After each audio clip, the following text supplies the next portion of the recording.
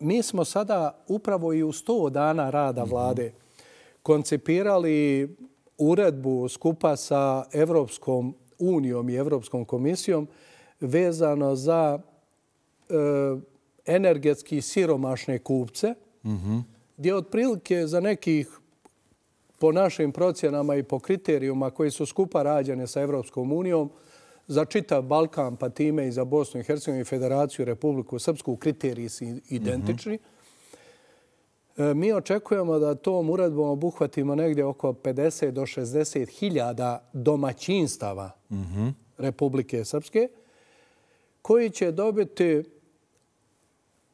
određena sredstva vezano za nabavku energenta za grijanje. Neko se grije strujom, neko peletom, neko gasom, neko drvima i tako dalje.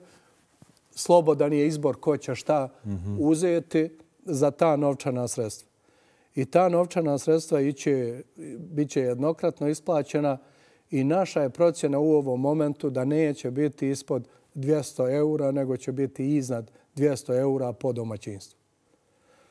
Prema tome, uvijek radimo i tražimo neke odgovore Mhm. ovo o čemu vi govorite.